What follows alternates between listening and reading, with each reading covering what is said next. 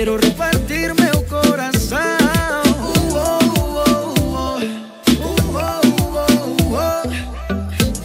Agora te digo goodbye. Muito obrigado, Patrícia, não há.